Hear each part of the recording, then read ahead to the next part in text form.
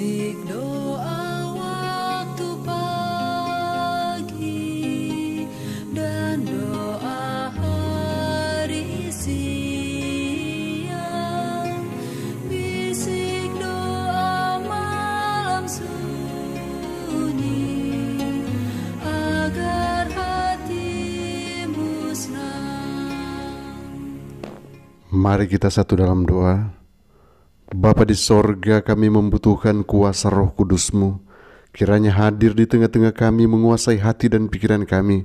Memberikan pengertian yang benar untuk setiap firman yang akan kami renungkan saat ini. Berfirmanlah Tuhan kami siap mendengarkannya di dalam nama Yesus. Amin. Judul renungan kita hari ini ialah Kasih Allah tidak membebaskan yang bersalah. Ayat inti keluaran 34 ayat yang ketujuh. Firman Tuhan berkata, Yang meneguhkan kasih setianya kepada beribu-ribu orang, yang mengampuni kesalahan, pelanggaran, dan dosa, tetapi tidaklah sekali-kali membebaskan orang yang bersalah dari hukuman. Saudaraku, akan ada perubahan yang segera dalam pekerjaan-pekerjaan Allah. Dunia dalam kejahatannya sedang didatangi oleh kehancuran-kehancuran, oleh banjir, angin taufan, kebakaran, gempa bumi, kelaparan, perang, dan pertumpahan darah. Tuhan itu lambat untuk marah dan besar kuasanya, namun Dia tidak akan membebaskan orang-orang berdosa. Ia berjalan dalam puting beliung dan badai, dan awan adalah debu kakinya. Oh, kalau saja manusia mau mengerti akan kesabaran dan tahan menderitanya Allah, dia sendiri harus mengekang sifat kealahannya. Kuasanya yang tidak terbatas berada di bawah kendali yang maha kuasa. Oh, kalau saja manusia mengerti bahwa Allah menolak untuk disibukkan dengan kerusakan dunia dan masih tetap memberikan pengharapan akan pengampunan bahkan kepada orang yang paling tidak layak sekalipun tetapi panjang sabarnya tidak akan berlangsung terus. Siapakah yang akan bersiap menghadapi perubahan yang begitu cepat yang akan terjadi dalam penanganan Allah akan orang berdosa?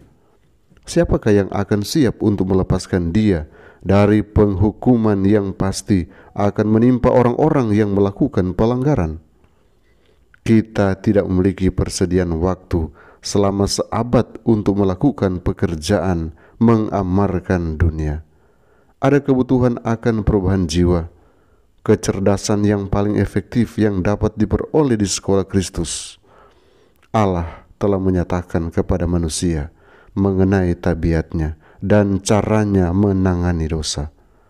Kuasa dan wewenang pemerintahan ilahi akan digunakan untuk memadamkan pemberontakan namun semua manifestasi hukuman yang setimpal dan adil akan selalu selaras dengan tabiat Allah sebagai oknum yang berbelas kasihan, panjang sabar, dan berkemurahan.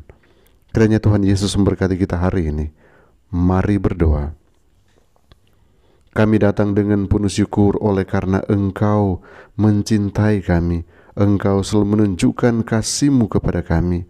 Saat ini, Ketika kami merenungkan kebenaran firman-Mu, kami menyadari bahwa kami orang yang berdosa dan kami rindu untuk tetap dekat hadirat-Mu Tuhan, sehingga kami boleh terhindar dari melakukan dosa.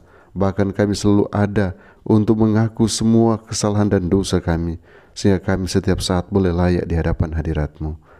Biarlah firman ini boleh menuntun kami menjadi orang-orang benar, melakukan yang benar, dan tetap mempertahankan kebenaran sampai hari Maranatha. Kami akan melakukan semua aktivitas kami. Pertolonganmu kami butuhkan. Kiranya kekuatan dari sorga menjadi bagian kami. Hikmat sorga akan dianugerahkan kepada kami. Sehingga kami mampu melakukan yang terbaik bagi kemuliaan nama Tuhan. Bapa, tolonglah umat-umat Tuhan. Berkati mereka dalam melakukan semua aktivitas mereka. Terlebih engkau hindarkan mereka dari COVID-19 Hindarkan dari sakit penyakit, bahkan mara bahaya, malapetaka yang mudah berlaku bagi kami. Mereka yang sedang bergumul, engkau berikan kekuatan iman. Biarlah engkau pulihkan mereka yang sakit, yang menderita, engkau berikan jaminan kekuatan. Terima kasih Tuhan untuk berkat yang Engkau janjikan yang siap kami terima saat ini karena kami berdoa memohon berkat-Mu hanya di dalam nama Yesus Tuhan dan Juru Selamat kami. Amin. Tuhan jauh